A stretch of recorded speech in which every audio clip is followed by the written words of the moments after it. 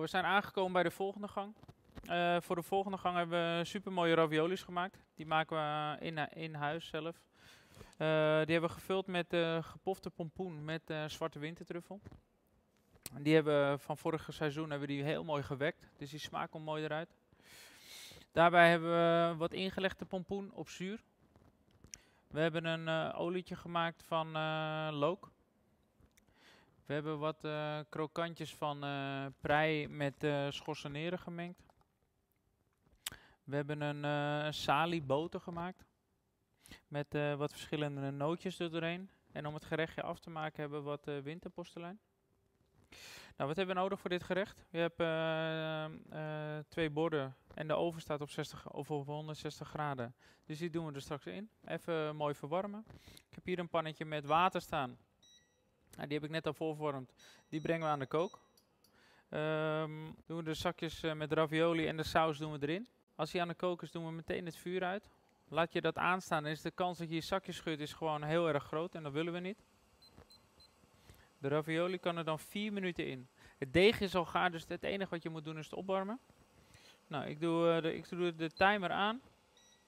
Het water kookt, dus het, eh, ik zet het vuur ook uit. En dan eh, de raviolis in het water.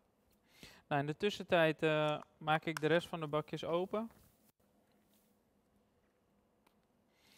En ehm, is het nu eventjes drie minuten wachten. Dan komen we zo bij jullie terug. Eh, voor het laatste minuutje heb ik het eh, bakje met eh salieolie met de nootjes eigenlijk bovenop het water gezet. Wat gebeurt er dan? De olie smelt. Ehm, het timertje gaat af. Halen we de raviolis uit het water. Ik leg ze op een doek. Hè, dan eh, wordt het geen, eh, geen zootje. Waar je, moet, eh, waar je op moet letten, is dat je de, op het moment dat je de zakjes openknipt, er zit, de saus zit eromheen. Dus wees voorzichtig, want anders maak je echt een zootje van. Haal de ravioli met een label eruit.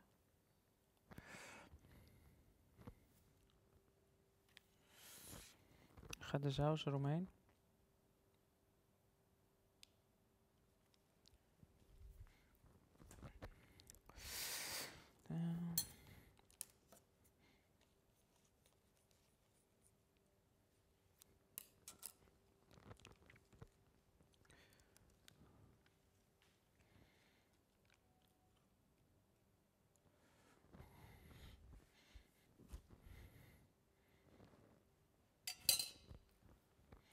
Oké, om de saus heen gaat ook de olie.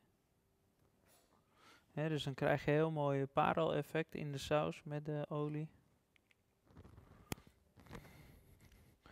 Dan hebben we de pompoen, de plakjes pompoen.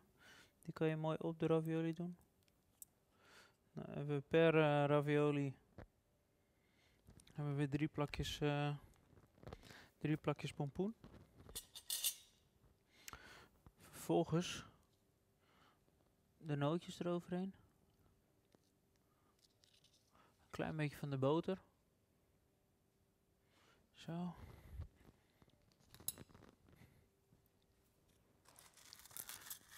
Verdeel de crunch eerlijk over de twee gerechten. Dit is het krokantje samen met de nootjes wat je hebt in het gerecht. En eigenlijk als afsluiter doen we de winterpostelijn eroverheen.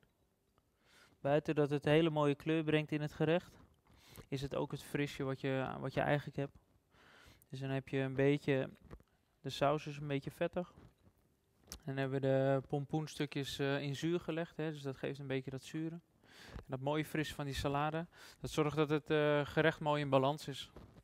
Ik zou zeggen, eet smakelijk en ik zie jullie straks weer.